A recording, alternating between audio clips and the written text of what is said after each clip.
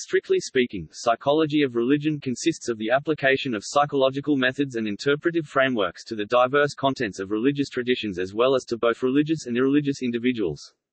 The extraordinary range of methods and frameworks can be helpfully summed up regarding the classic distinction between the natural scientific and human scientific approaches. The first cluster proceeds by means of objective, quantitative, and preferably experimental procedures for testing hypotheses regarding the causal connections among the objects of one's study. In contrast, the human scientific approach accesses the human world of experience using qualitative, phenomenological, and interpretive methods, with the goal of discerning meaningful rather than causal connections among the phenomena one seeks to understand. Psychologists of religion pursue three major projects, 1. Systematic description, especially of religious contents, attitudes, experiences, and expressions, 2. Explanation of the origins of religion, both in the history of the human race and in individual lives, taking into account a diversity of influences, and 3. Mapping out the consequences of religious attitudes and conduct, both for the individual and for society at large. The psychology of religion first arose as a self-conscious discipline in the late 19th century, but all three of these tasks have a history going back many centuries before that.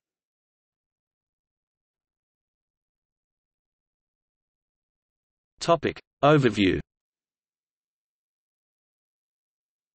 The challenge for the psychology of religion is essentially threefold, one to provide a thoroughgoing description of the objects of investigation, whether they be shared religious content e.g., a tradition's ritual observances, or individual experiences, attitudes, or conduct, two, to account in psychological terms for the rise of such phenomena, whether they be in individual lives, and three, to clarify the outcomes, the fruits, as William James put it, of these phenomena, for individuals, and the larger society. These fruits may be both positive and negative. The first, descriptive task naturally requires a clarification of one's terms. Above all, the word religion. Historians of religion have long underscored the problematic character of this term, noting that its usage over the centuries has changed in significant ways, generally in the direction of reification.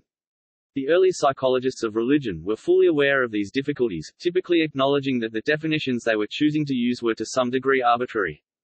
With the rise of positivistic trends in psychology over the course of the 20th century, especially the demand that all phenomena be operationalized by quantitative procedures, psychologists of religion developed a multitude of scales, most of them developed for use with Protestant Christians.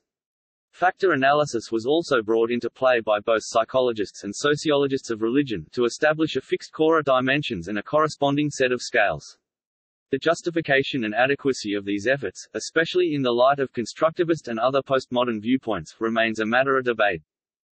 In the last several decades, especially among clinical psychologists, a preference for the terms spirituality and spiritual has emerged, along with efforts to distinguish them from religion and religious, especially in the United States.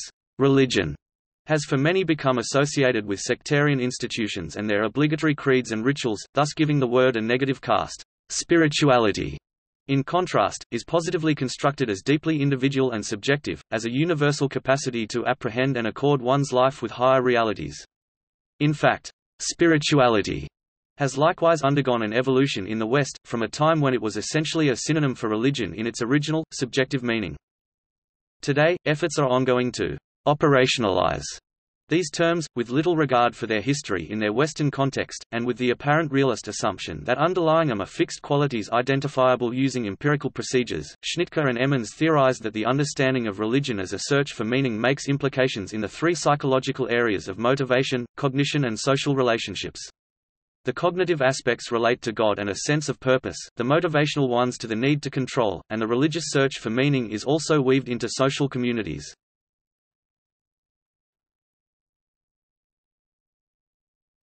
Topic: History.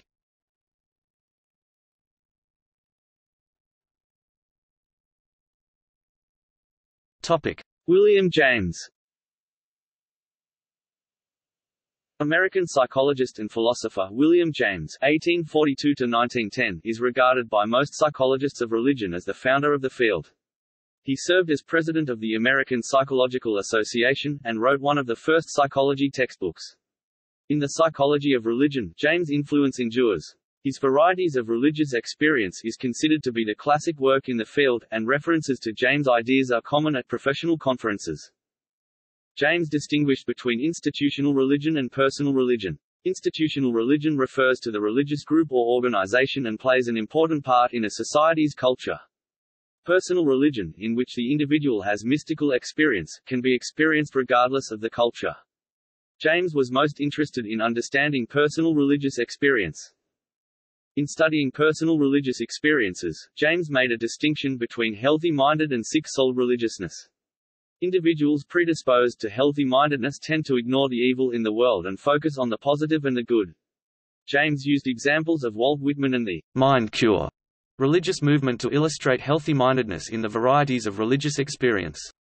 In contrast, individuals predisposed to having a sick-souled religion are unable to ignore evil and suffering and need a unifying experience, religious or otherwise, to reconcile good and evil. James included quotations from Leo Tolstoy and John Bunyan to illustrate the sick soul. William James' hypothesis of pragmatism stems from the efficacy of religion. If an individual believes in and performs religious activities, and those actions happen to work, then that practice appears the proper choice for the individual.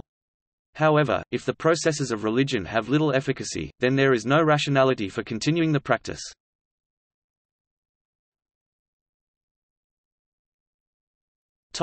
Other early theorists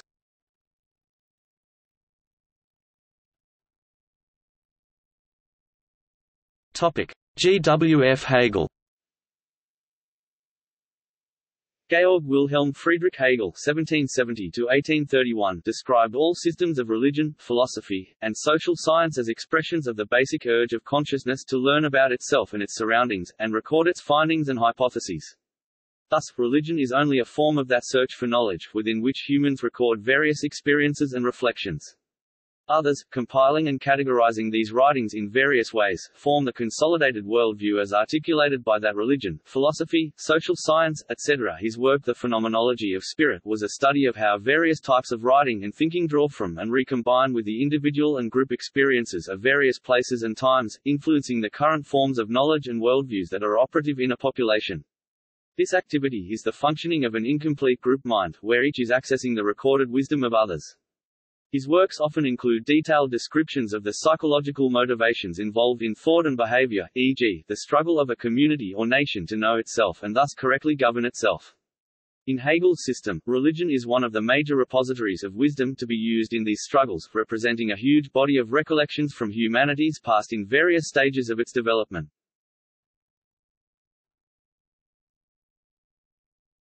Topic: Sigmund Freud. Sigmund Freud (1856–1939) gave explanations of the genesis of religion in his various writings. In Totem and Taboo, he applied the idea of the Oedipus complex involving unresolved sexual feelings of, for example, a son toward his mother and hostility toward his father, and postulated its emergence in the primordial stage of human development. In Moses and Monotheism, Freud reconstructed biblical history by his general theory.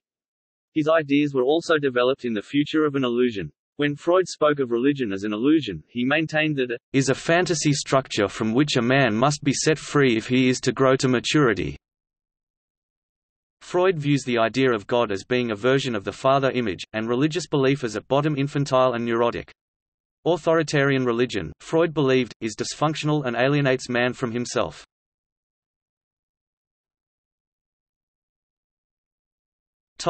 Carl Jung The Swiss psychoanalyst Carl Jung (1875–1961) adopted a very different posture, one that was more sympathetic to religion and more concerned with a positive appreciation of religious symbolism. Jung considered the question of the metaphysical existence of God to be unanswerable by the psychologist and adopted a kind of agnosticism. Jung postulated, in addition to the personal unconscious, roughly adopting Freud's concept, the collective unconscious, which is the repository of human experience and which contains archetypes, i.e. basic images that are universal in that they recur regardless of culture. The eruption of these images from the unconscious into the realm of consciousness he viewed as the basis of religious experience and often of artistic creativity. Some of Jung's writings have been devoted to elucidating some of the archetypal symbols, and include his work in comparative mythology.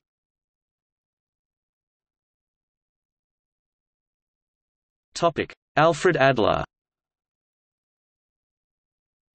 Austrian psychiatrist Alfred Adler (1870–1937), who parted ways with Freud, emphasized the role of goals and motivation in his individual psychology. One of Adler's most famous ideas is that we try to compensate for inferiorities that we perceive in ourselves. A lack of power often lies at the root of feelings of inferiority. One way that religion enters into this picture is through our beliefs in God, which are characteristic of our tendency to strive for perfection and superiority. For example, in many religions, God is considered to be perfect and omnipotent, and commands people likewise to be perfect. If we, too, achieve perfection, we become one with God. By identifying with God in this way, we compensate for our imperfections and feelings of inferiority. Our ideas about God are important indicators of how we view the world. According to Adler, these ideas have changed over time, as our vision of the world, and our place in it, has changed. Consider this example that Adler offers, the traditional belief that people were placed deliberately on Earth as God's ultimate creation is being replaced with the idea that people have evolved by natural selection. This coincides with a view of God not as a real being, but as an abstract representation of nature's forces. In this way, our view of God has changed from one that was concrete and specific to one that is more general. From Adler's vantage point, this is a relatively ineffective perception of God because it is so general that it fails to convey a strong sense of direction and purpose. An important thing for Adler is that God or the idea of God motivates people to act and that those actions do have real consequences for ourselves and others. Our view of God is important because it embodies our goals and directs our social interactions. Compared to science, another social movement, religion is more efficient because it motivates people more effectively. According to Adler, only when science begins to capture the same religious fervor, and promotes the welfare of all segments of society, will the two be more equal in people's eyes. Topic Gordon Allport In his classic book The Individual and His Religion 1950, Gordon Allport (1897–1967) illustrates how people may use religion in different ways. He makes a distinction between mature religion and immature religion. Mature religious sentiment is how Allport characterized the person whose approach to religion is dynamic, open-minded, and able to maintain links between inconsistencies. In contrast, immature religion is self-serving and generally represents the negative stereotypes that people have about religion. More recently, this distinction has been encapsulated in the terms intrinsic religion, referring to a genuine, heartfelt devout faith, and extrinsic religion, referring to a more utilitarian use of religion as a means to an end, such as church attendance to gain social status. These dimensions of religion were measured on the religious orientation scale of Allport and Ross 1967. The third form of religious orientation has been described by Daniel Batson. This refers to treatment of religion as an open-ended search Batson, Schoenrade and Ventis, 1993.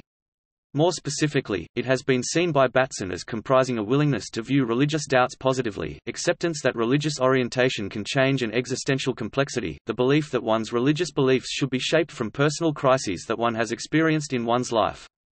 Batson refers to extrinsic, intrinsic and quests respectively as religion as means, religion as end, and religion as quest, and measures these constructs on the Religious Life Inventory Batson, Schoenrade and Ventis, 1993.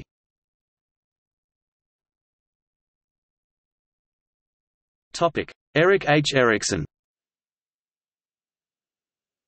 Erik Erikson (1902–1994) is best known for his theory of psychological development, which has its roots in the psychoanalytic importance of identity in personality. His biographies of Gandhi and Martin Luther reveal Erikson's positive view of religion. He considered religions to be important influences in successful personality development because they are the primary way that cultures promote the virtues associated with each stage of life.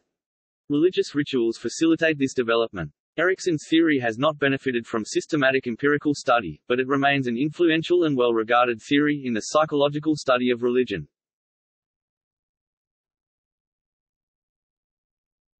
Topic: Erich Fromm.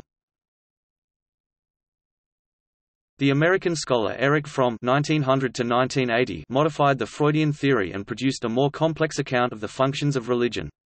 In his book Psychoanalysis and Religion he responded to Freud's theories by explaining that part of the modification is viewing the Oedipus complex as based not so much on sexuality as on a much more profound desire, namely, the childish desire to remain attached to protecting figures.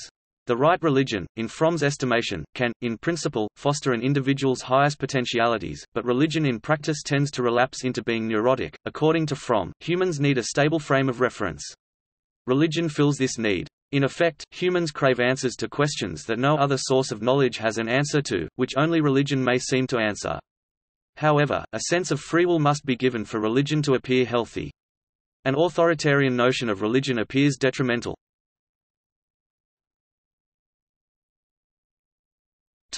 Rudolf Otto Rudolf Otto (1869–1937) was a German Protestant theologian and scholar of comparative religion. Otto's most famous work, The Idea of the Holy, published first in 1917 as Das Heilige, defines the concept of the holy as that which is numinous. Otto explained the numinous as a non-rational, non-sensory experience or feeling whose primary and immediate object is outside the self. It is a mystery Latin, mysterium tremendum that is both fascinating fascinans and terrifying at the same time, a mystery that causes trembling and fascination, attempting to explain that inexpressible and perhaps supernatural emotional reaction of wonder drawing us to seemingly ordinary and or religious experiences of grace. This sense of emotional wonder appears evident at the root of all religious experiences. Through this emotional wonder, we suspend our rational mind for non-rational possibilities. It also sets a paradigm for the study of religion that focuses on the need to realize the religious as a non-reducible, original category in its own right. This paradigm was under much attack between approximately 1950 and 1990 but has made a strong comeback since then.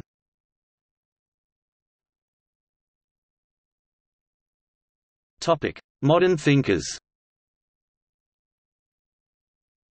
Autobiographical accounts of 20th-century psychology of religion as a field have been supplied by numerous modern psychologists of religion, primarily based in Europe, but also by several U.S.-based psychologists such as Ralph W. Hood and Donald Capps.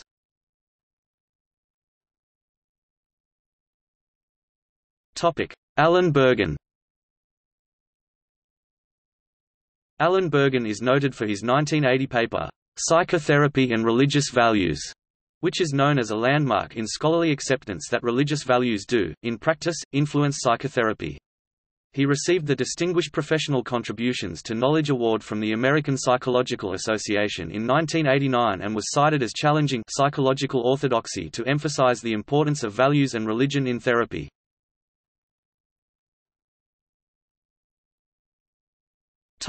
Robert Emmons Robert Emmons offered a theory of spiritual strivings in his 1999 book, The Psychology of Ultimate Concerns. With support from empirical studies, Emmons argued that spiritual strivings foster personality integration because they exist at a higher level of the personality. Ralph W. Hood Jr. Ralph W. Hood Jr. is a professor of psychology at the University of Tennessee at Chattanooga. He is a former editor of the Journal for the Scientific Study of Religion and a former co-editor of the Archive for the Psychology of Religion and the International Journal for the Psychology of Religion. He is past president of Division 36 of the American Psychological Association and a recipient of its William James Award. He has published several hundred articles and book chapters on the psychology of religion and has authored, co-authored, or edited 13 volumes, all dealing with the psychology of religion. Topic. Kenneth Pargament Kenneth Pargament is noted for his book Psychology of Religion and Coping 1997, see article, as well as for a 2007 book on religion and psychotherapy, and a sustained research program on religious coping. He is professor of psychology at Bowling Green State University, Ohio, U.S., and has published more than 100 papers on the subject of religion and spirituality in psychology. Pargament led the design of a questionnaire called the RCOPE to measure religious coping strategies. Pargament has distinguished between three types of styles for coping with stress. One collaborative, in which people cooperate with God to deal with stressful events.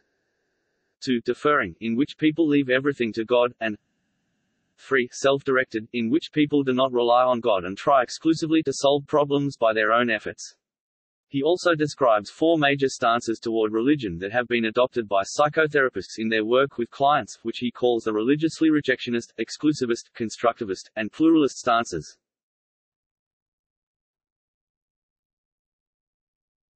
Topic: James Hillman James Hillman, at the end of his book Re-Visioning Psychology, reverses James' position of viewing religion through psychology, urging instead that we view psychology as a variety of religious experience. He concludes, psychology as religion implies imagining all psychological events as effects of gods in the soul.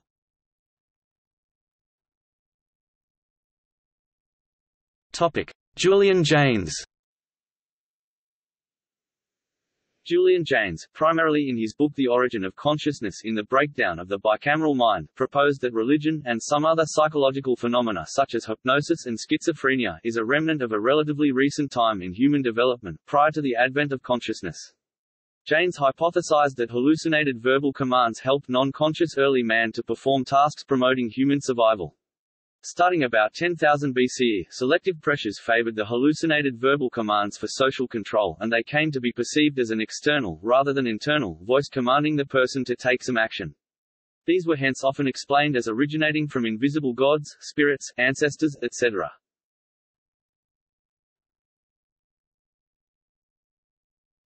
Topic: Hypotheses on the role of religion. There are three primary hypotheses on the role of religion in the modern world.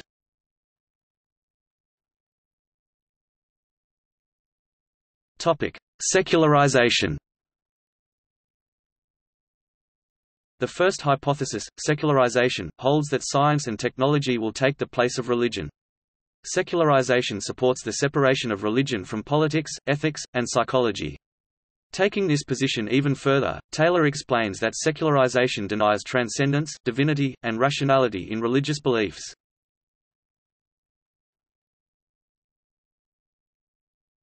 Topic: Religious transformation.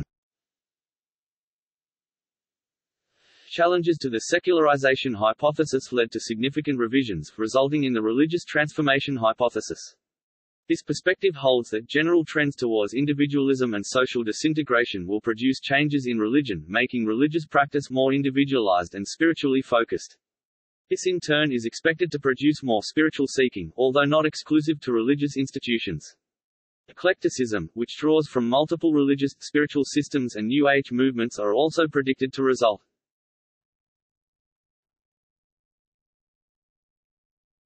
Topic: Cultural divide. In response to the religious transformation hypothesis, Ronald Inglehart piloted the renewal of the secularization hypothesis. His argument hinges on the premise that religion develops to fill the human need for security, Therefore, the development of social and economic security in Europe explains its corresponding secularization due to a lack of need for religion. However, religion continues in the Third World where social and economic insecurity is rampant. The overall effect is expected to be a growing cultural disparity. The idea that religiosity arises from the human need for security has also been furthered by studies examining religious beliefs as a compensatory mechanism of control. These studies are motivated by the idea that people are invested in maintaining beliefs in order and structure to prevent beliefs in chaos and randomness in the experimental setting. Researchers have also tested compensatory control in regard to individuals' perceptions of external systems, such as religion or government. For example, Kay and colleagues found that in a laboratory setting, individuals are more likely to endorse broad external systems e.g., religion or socio-political systems that impose order and control on their lives when they are induced with lowered levels of personal control. In this study, researchers suggest that when a person's personal control is lessened, their motivation to believe in order is threatened, resulting in compensation of this threat through adherence to other external sources of control.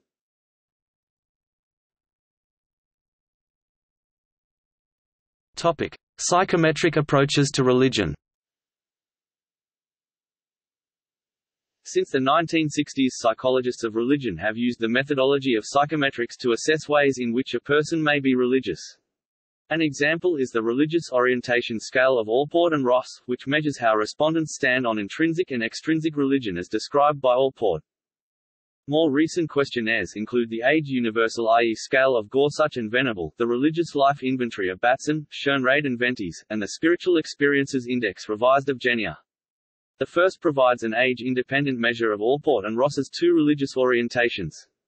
The second measures three forms of religious orientation, religion as means, intrinsic, religion as end, extrinsic, and religion as quest. The third assesses spiritual maturity using two factors, spiritual support and spiritual openness.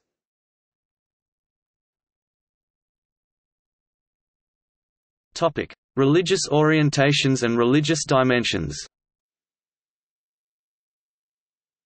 Some questionnaires, such as the Religious Orientation Scale, relate to different religious orientations, such as intrinsic and extrinsic religiousness, referring to different motivations for religious allegiance. A rather different approach, taken, for example, by Glock and Stark 1965, has been to list different dimensions of religion rather than different religious orientations, which relates to how an individual may manifest different forms of being religious. Glock and Stark's famous typology described five dimensions of religion, the doctrinal, the intellectual, the ethical consequential, the ritual, and the experiential. In later work these authors subdivided the ritual dimension into devotional and public ritual, and also clarified that their distinction of religion along multiple dimensions was not identical to distinguishing religious orientations. Although some psychologists of religion have found it helpful to take a multidimensional approach to religion for the purpose of psychometric scale design, there has been, as Wulff 1997 explains, considerable controversy about whether religion should really be seen as multidimensional.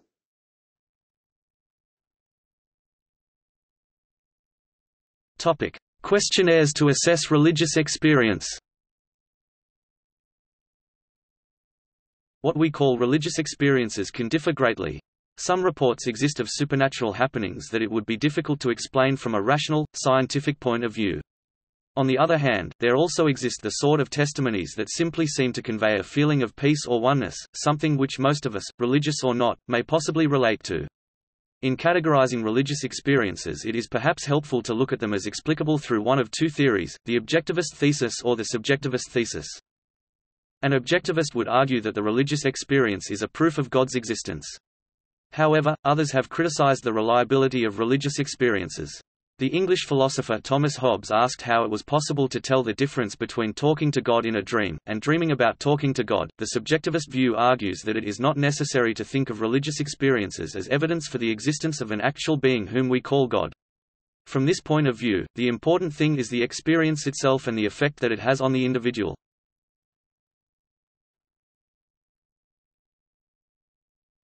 Topic: Developmental approaches to religion.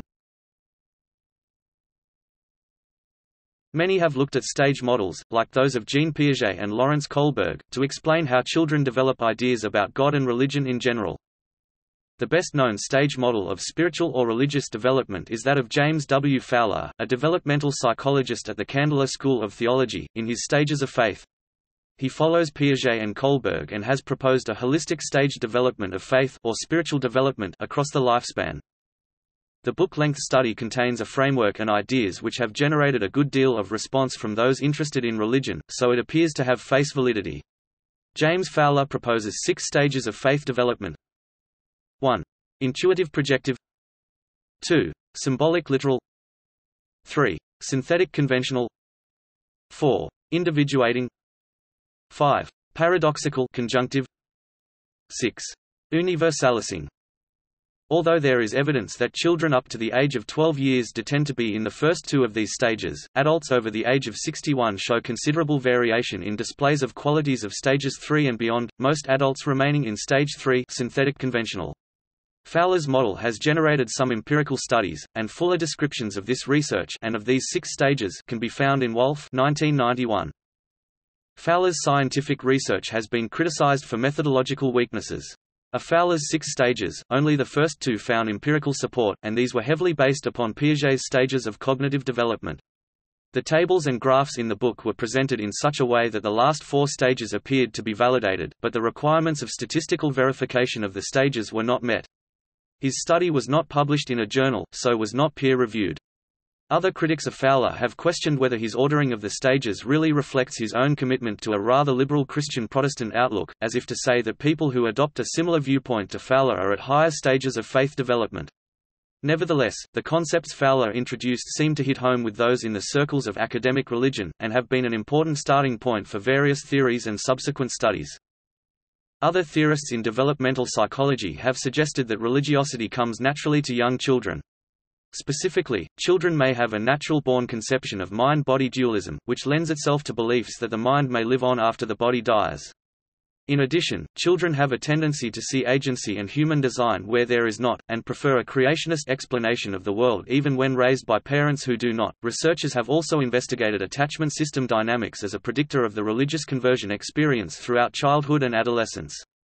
One hypothesis is the correspondence hypothesis, which posits that individuals with secure parental attachment are more likely to experience a gradual conversion experience. Under the correspondence hypothesis, internal working models of a person's attachment figure is thought to perpetuate his or her perception of God as a secure base. Another hypothesis relating attachment style to the conversion experience is the compensation hypothesis, which states that individuals with insecure attachments are more likely to have a sudden conversion experience as they compensate for their insecure attachment relationship by seeking a relationship with God. Researchers have tested these hypotheses using longitudinal studies and individuals' self-narratives of their conversation experience. For example, one study investigating attachment styles and adolescent conversions at Young Life religious summer camps resulted in evidence supporting the correspondence hypothesis through analysis of personal narratives and a prospective longitudinal follow-up of Young Life campers, with mixed results for the compensation hypothesis. James Alcock summarizes a number of components of what he calls the God engine. A number of automatic processes and cognitive biases that combine to make supernatural belief the automatic default.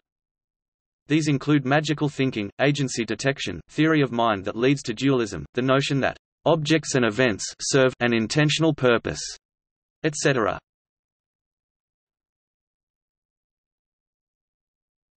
Topic: Evolutionary and cognitive psychology of religion.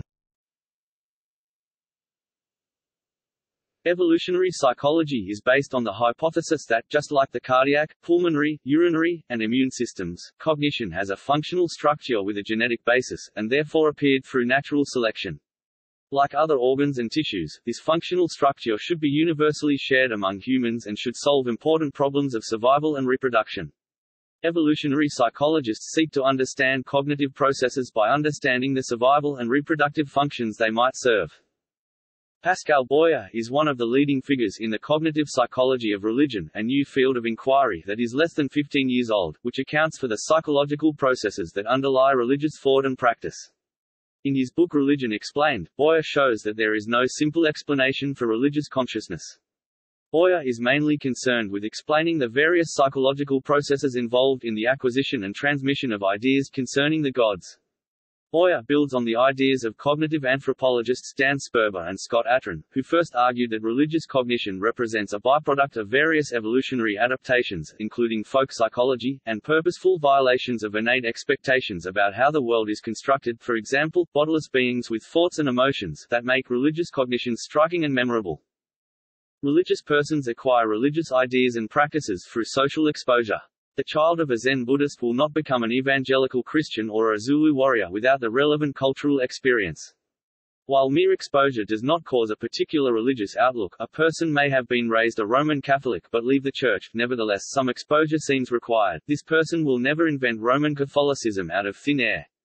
Boyer says cognitive science can help us to understand the psychological mechanisms that account for these manifest correlations and in so doing enable us to better understand the nature of religious belief and practice. Boyer moves outside the leading currents in mainstream cognitive psychology and suggests that we can use evolutionary biology to unravel the relevant mental architecture. Our brains are, after all, biological objects, and the best naturalistic account of their development in nature is Darwin's theory of evolution.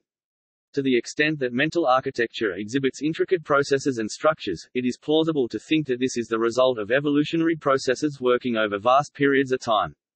Like all biological systems, the mind is optimized to promote survival and reproduction in the evolutionary environment.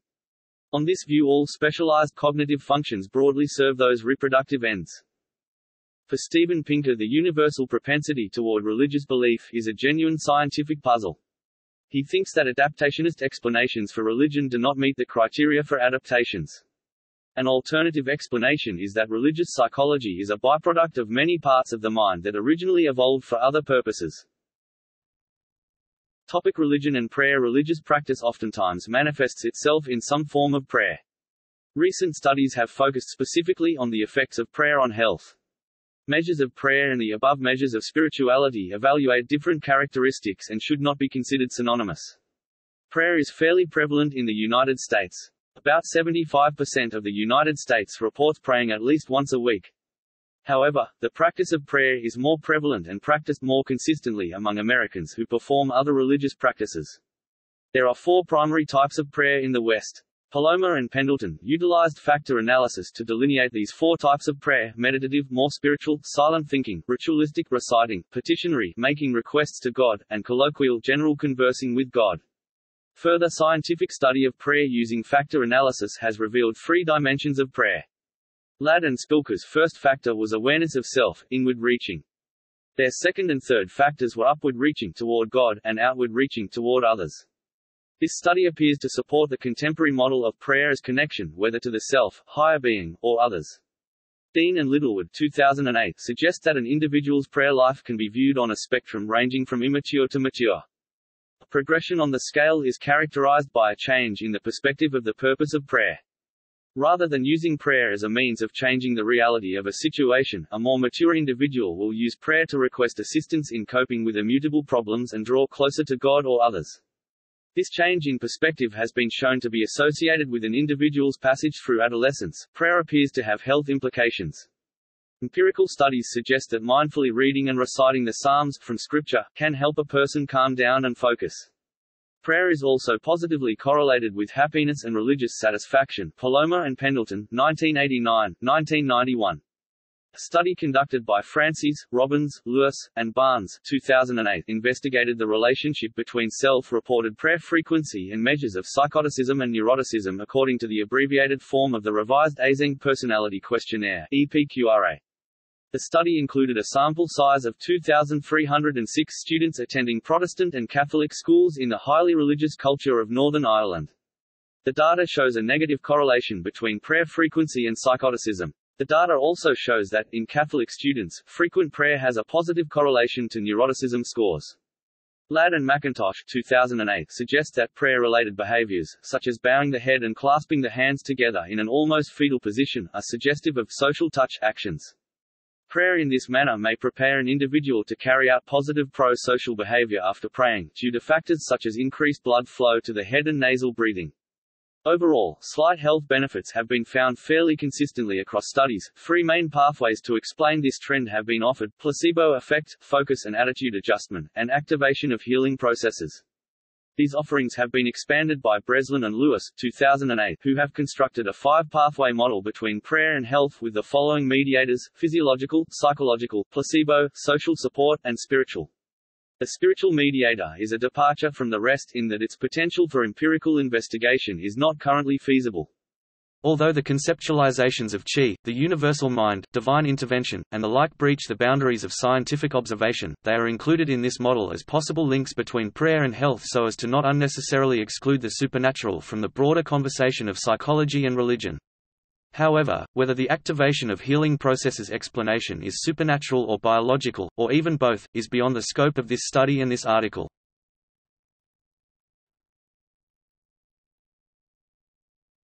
Topic: Religion and ritual. Another significant form of religious practice is ritual. Religious rituals encompass a wide array of practices, but can be defined as the performance of similar actions and vocal expressions based on prescribed tradition and cultural norms. Examples include the Jewish bar and bat mitzvah, divine liturgy, non-Eastern Orthodox Holy Eucharist, Hindu puja, Muslim salat, Hajj. Scheff suggests that ritual provides catharsis, emotional purging, through distancing. This emotional distancing enables an individual to experience feelings with an amount of separation, and thus less intensity. However, the conception of religious ritual as an interactive process has since matured and become more scientifically established. From this view, ritual offers a means to catharsis through behaviors that foster connection with others, allowing for emotional expression. This focus on connection contrasts to the separation that seems to underlie Scheff's view. Additional research suggests the social component of ritual. For instance, findings suggest that ritual performance indicates group commitment and prevents the uncommitted from gaining membership benefits. Ritual may aid in emphasizing moral values that serve as group norms and regulate societies. It may also strengthen commitment to moral convictions and likelihood of upholding these social expectations. Thus, performance of rituals may foster social group stability.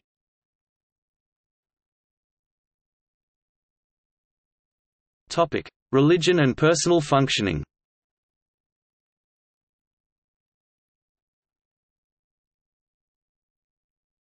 Topic: Religion and health. There is considerable literature on the relationship between religion and health.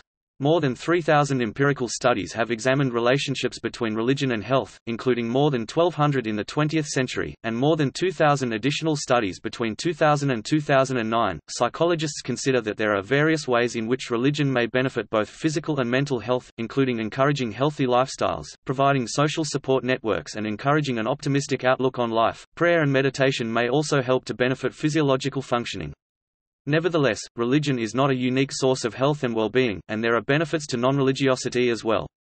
The journal, American Psychologist, published important papers on this topic in 2003. Haber, Jacob and Spengler have considered how different dimensions of religiosity may relate to health benefits in different ways.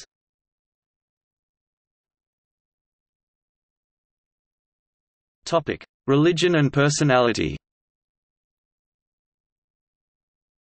Some studies have examined whether there is a religious personality. Research suggests that people who identify as religious are more likely to be high on agreeableness and conscientiousness, and low on psychoticism, but unrelated to other Big Five traits. However, people endorsing fundamentalist religious beliefs are more likely to be low on openness. Similarly, people who identify as spiritual are more likely to be high on extroversion and openness, although this varied based on the type of spirituality endorsed.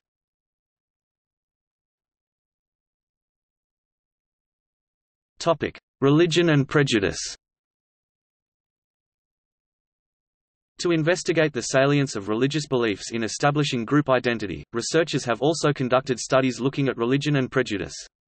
Some studies have shown that greater religious attitudes may be significant predictors of negative attitudes towards racial or social outgroups. These effects are often conceptualized under the framework of intergroup bias, where religious individuals favor members of their in-group in-group favoritism and exhibit disfavor towards members of their outgroup outgroup derogation. Evidence supporting religious intergroup bias has been supported in multiple religious groups, including non-Christian groups, and is thought to reflect the role of group dynamics in religious identification. Many studies regarding religion and prejudice implement religious priming both in the laboratory and in naturalistic settings with evidence supporting the perpetuation of in-group favoritism and out-group derogation in individuals who are high in religiosity. Recently, reparative or conversion therapy, a religiously motivated process intended to change an individual's sexuality, has been the subject of scrutiny and has been condemned by some governments, LGBT charities, and therapy, counseling professional bodies.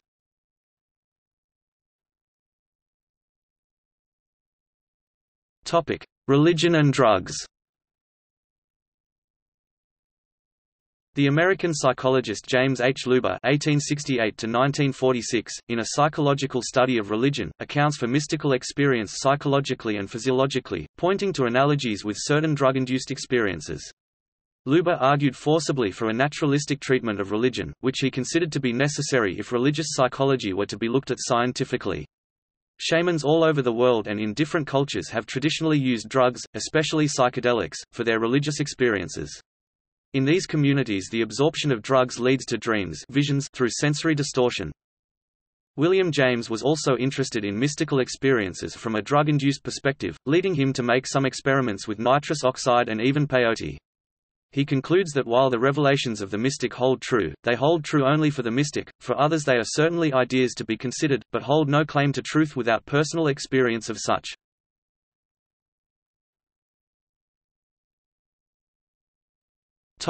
Religion and mental illness Although many researchers have brought evidence for a positive role that religion plays in health, others have shown that religious beliefs, practices, and experiences may be linked to mental illnesses of various kind mood disorders, personality disorders, and psychiatric disorders.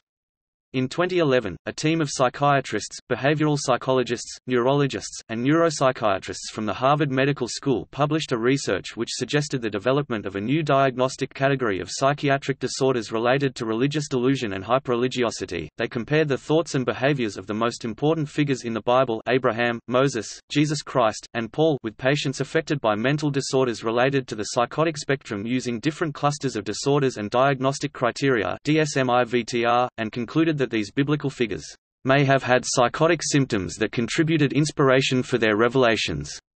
Such as schizophrenia, schizoaffective disorder, manic depression, delusional disorder, delusions of grandeur, auditory visual hallucinations, paranoia, Geschwind syndrome Paul especially, and abnormal experiences associated with temporal lobe epilepsy TLE. .The research went further and also focused on social models of psychopathology, analyzing new religious movements and charismatic cult leaders such as David Koresh, leader of the Branch Davidians, and Marshall Applewhite, founder of the Heaven's Gate cult. The researchers concluded that if David Koresh and Marshall Applewhite are appreciated as having psychotic spectrum beliefs, then the premise becomes untenable that the diagnosis of psychosis must rigidly rely upon an inability to maintain a social group. A subset of individuals with psychotic symptoms appears able to form intense social bonds and communities despite having an extremely distorted view of reality. The existence of a better socially functioning subset of individuals with psychotic-type symptoms is corroborated by research indicating that psychotic-like experiences, including both bizarre and non-bizarre delusion-like beliefs, are frequently found in the general population. This supports the idea that psychotic symptoms likely lie on a continuum.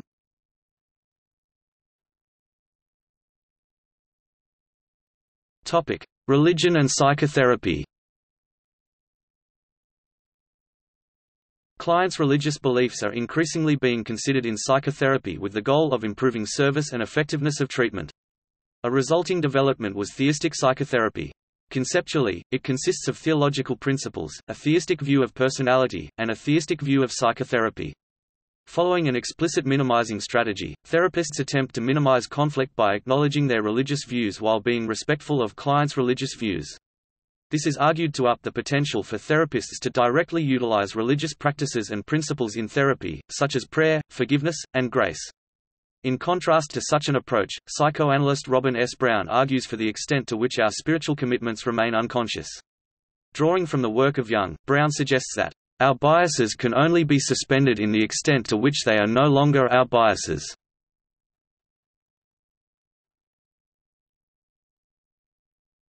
Topic: Pastoral psychology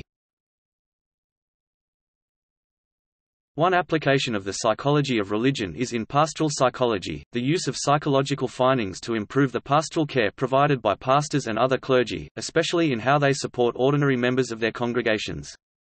Pastoral psychology is also concerned with improving the practice of chaplains in healthcare and in the military. One major concern of pastoral psychology is to improve the practice of pastoral counseling. Pastoral psychology is a topic of interest for professional journals such as Pastoral Psychology, the Journal of Psychology and Christianity, and the Journal of Psychology and Theology. In 1984, Thomas Oden severely criticized mid-20th century pastoral care and the pastoral psychology that guided it as having entirely abandoned its classical, traditional sources, and having become overwhelmingly dominated by modern psychological influences from Freud, Rogers, and others. More recently, others have described pastoral psychology as a field that experiences a tension between psychology and theology. See also